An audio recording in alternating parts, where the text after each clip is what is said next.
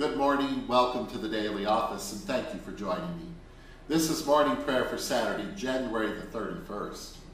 It's the third week after the Epiphany, and the scripture for this service, Psalm 55 and Isaiah chapter 51, verse 1 through 8. And please join me in singing the first verse of Psalm 100 by Isaac Watts to the tune of Old 100. All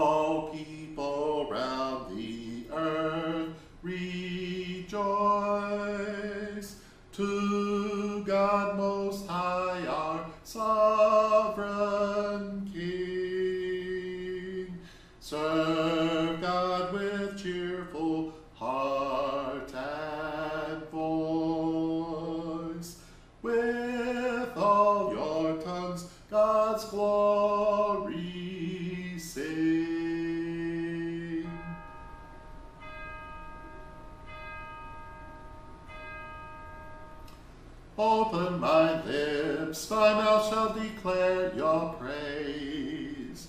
Alleluia, give ear to my prayer, O God. Do not hide yourself from my plea. Alleluia. Psalm 55, and please recite it together with me. Alleluia, give ear to my prayer, O God. Do not hide yourself from my plea. Attend to me while I complain. Hear me and answer me. Because of the voice of the enemy, because of the oppression of the wicked, for they cast iniquity upon me, and in anger they hate me. My heart is sore within me, and the terrors of death have fallen upon me. Fearfulness and trembling have come upon me, and horror has overwhelmed me. And I said, Oh, that I had wings like a dove, for then I would fly away and be at rest, that I would wander afar and remain in the wilderness. I would hasten my escape from the raging winds and the storm. Destroy them, O God, and confuse their speech, for I have seen violence and strife in the city.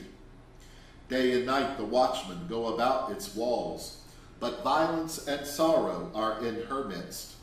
Wickedness is everywhere in the city. Her streets are never free of deceit and corruption. For it was not an enemy that reproached me. If it had been, then I could have borne it. Neither was it someone that hated me and boasted of himself against me. Then I would have hid myself from him. But it was you, my intimate friend, my guide and my acquaintance. We took sweet counsel together. We walked together in the house of God. Let death seize them, and let them go down quickly into hell, for wickedness is among them and in their dwellings. As for me, I will call upon you, my God, and you will save me. Evening, morning, and noon I pray and cry aloud, and you shall hear my voice. You have delivered my soul in peace from the battle that was against me, for there were too many against me. You, O God, enthroned of old, shall hear and afflict them, for they never change, and they do not fear you. My companion raised his hand against me, and has broken our pact. With words smoother than butter, but war was in his heart. His words were softer than oil, yet they were drawn swords. Cast your burden upon the Most High, and God shall sustain you. God will never let the righteous stumble. For you, O God, shall bring them down into the pit of destruction. The bloodthirsty and deceitful shall not live out half their days, and I will trust in you.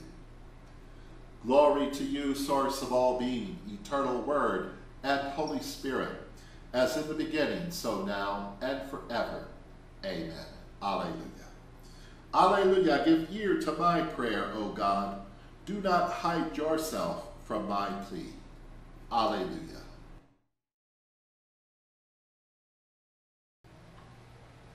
A reading from the prophet Isaiah, chapter 51, beginning at verse 1.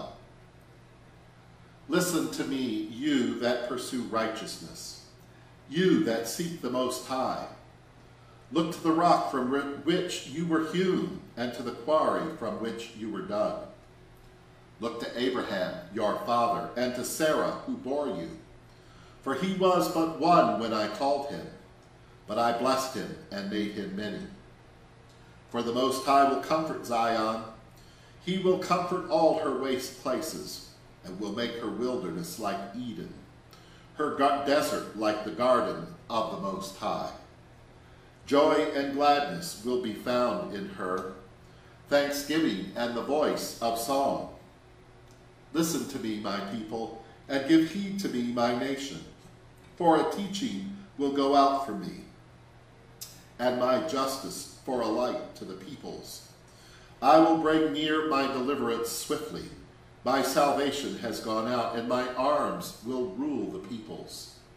The coastlands wait for me, and for my arm they hope. Lift up your eyes to the heavens, and look at the earth beneath. For the heavens will vanish like smoke, the earth will wear out like a garment, and those who live on it will die like gnats. But my salvation will be forever, and my deliverance will never be ended. Listen to me, you who know righteousness, you people who have my teaching in your hearts. Do not fear the reproach of others, and do not be dismayed when they revile you.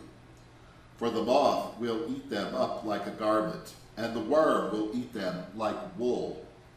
But my deliverance will be forever, and my salvation to all generations. Here ends the lesson.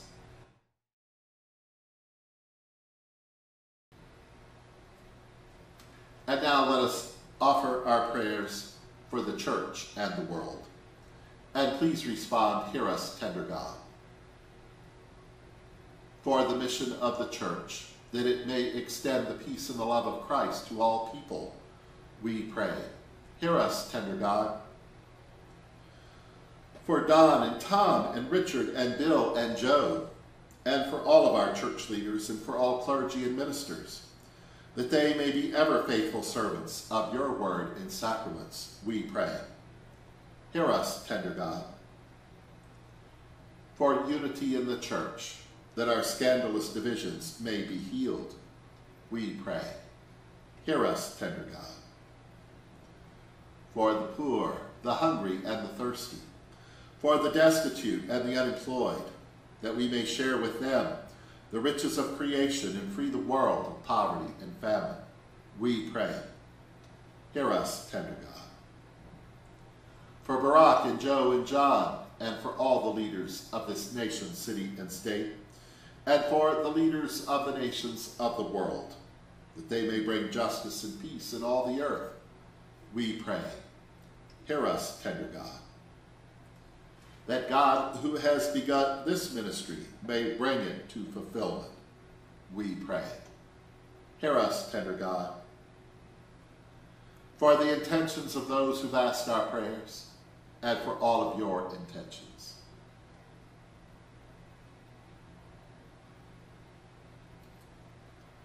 We pray. Hear us, tender God, together. Our beloved, which art in heaven, holy is your name.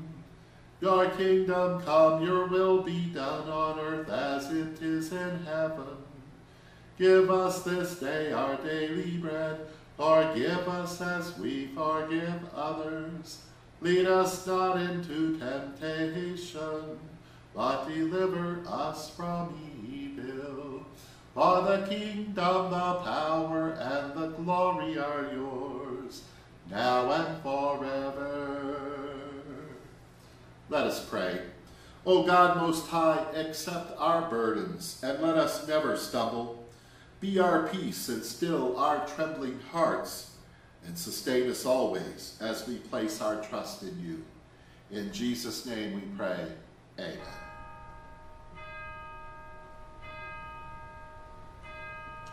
We trust in the mercy of God forever. And glory to God, whose power working in us can do infinitely more than we can ask or imagine. Glory to God from generation to generation, in the church and in Christ Jesus, now and forever. Amen. Alleluia.